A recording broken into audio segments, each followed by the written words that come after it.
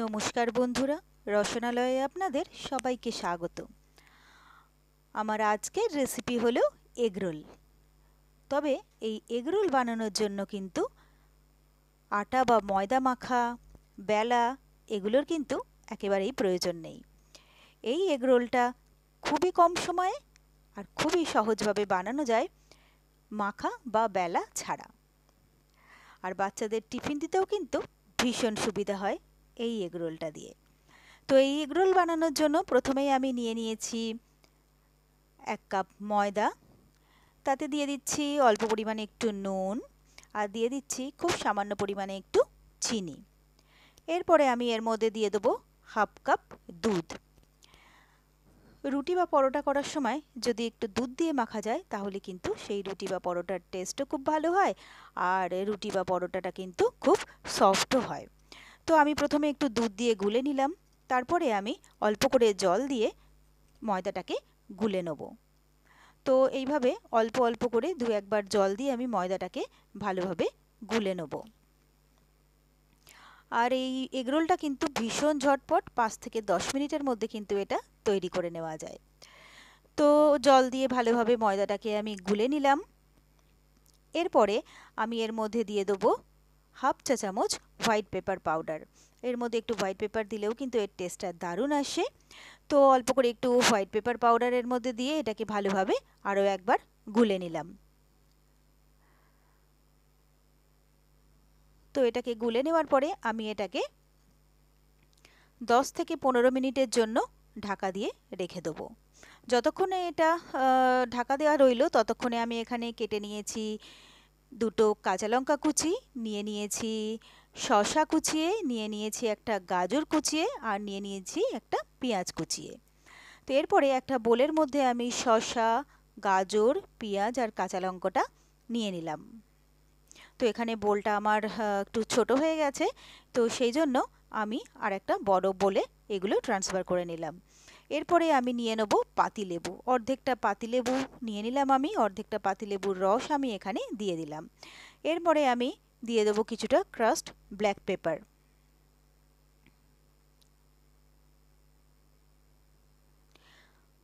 এরপরে আমি এখানে দিয়ে দিচ্ছি দুই টেবিল চামচ মতো টমেটো সস। আপনারা যদি টমেটো সস বেশি খেতে পছন্দ করেন, তাহলে কিন্তু বেশিও দিতে পারেন। এরপরে আমি দিয়ে দিচ্ছি এখানে স্বাদ মতো নুন। এরপরে এই সব কিছুকে আমি ভালো করে মিক্স করে নেব।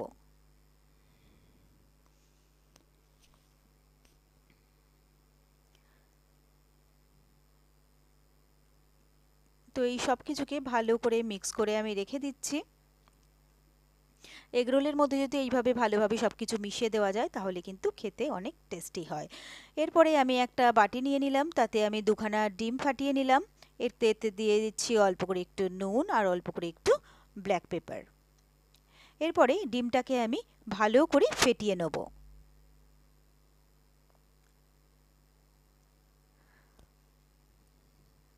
তো ডিমটা আমি ভালোভাবে ফেটিয়ে নিলাম। এদিকে আমার প্রায় 10 থেকে পনেরো মিনিট হয়ে গেছে। এরপরে আমি একটা ফ্রাইং প্যান বসিয়ে দিয়েছি, দিয়ে দিচ্ছি খুব সামান্য পরিমাণে একটু তেল। এরপরে আমি একটা ব্রাশ দিয়ে প্যানের মধ্যে তেলটাকে ব্রাশ করে দিচ্ছি। এরপরে আমি ময়দাটার ঢাকনা খুলে নিয়েছি, দেখে নিচ্ছি যে ময়দার কনসিস্টেন্সিটা ঠিক আছে কিনা। তো আমার একটু গাঢ় বলে মনে হলো, তো অল্প পরিমাণে একটু জল আমি এতে অ্যাড করলাম। এরপরে আমি আরও একবার এটাকে গুলে নিলাম। এরপরে একটা আমি হাতা নিয়ে নিয়েছি, তাতে করে আমি এক হাতা ব্যাটার প্যানের মধ্যে দিয়ে দিলাম। এবারে ব্যাটারটাকে আমি আস্তে করে ঘুরিয়ে ঘুরিয়ে স্প্রেড করে দিচ্ছি।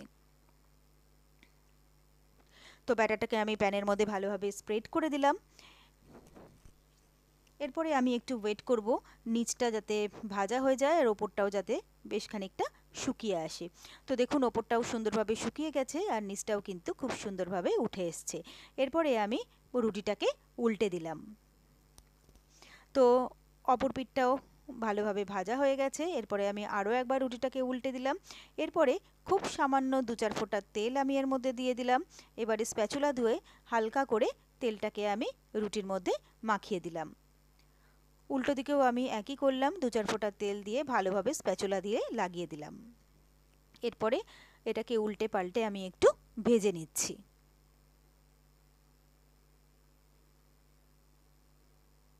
তো দেখুন কত সহজে আমার রুটিটা হয়ে গেল।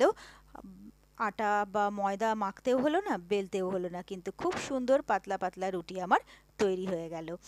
তো এই পরোটাটা আমার একদম রেডি হয়ে গেছে। এরপরে আমি এটাকে তুলে একটা প্লেটে রেখে দিচ্ছি। একইভাবে আমি আরও একটা তৈরি করে নিচ্ছি। দেখুন উল্টে পাল্টে এটাকেও আমি ভালো করে তেল দিয়ে ভেজে নেব। তো এখানে আমি অল্প করে তেল দিয়ে একটু ব্রাশ করে নিলাম। তারপরে এপিট ওপিট করে দুপিটটাই ভালোভাবে ভেজে নিলাম। আর তেলও কিন্তু খুব সামান্য পরিমাণেই লাগল। এরপরে আমি আরও একটু তেল প্যানের মধ্যে দিয়ে দিলাম। এরপরে যে দুটো ডিম আমি ফাটিয়ে রেখেছিলাম, সেই দুটো ডিম আমি প্যানের মধ্যে দিয়ে দিলাম। আমি এখানে দুটো ডিম দিয়ে এগরোল করছি একটা। আপনারা চাইলে কিন্তু সিঙ্গেল সিঙ্গেল ডিম দিয়েও করতে পারেন। তো ডিমটা এক পিঠটা বেশ ভালোভাবে ভাজা হয়ে গেছে। ওপর পিঠটাও শুকিয়ে এসছে। এরপরে একটা রুটি আমি ডিমটার উপরে দিয়ে দিলাম। এবারে একটা স্প্যাচুলা দিয়ে হালকা হালকা করে প্রেস করে দিলাম।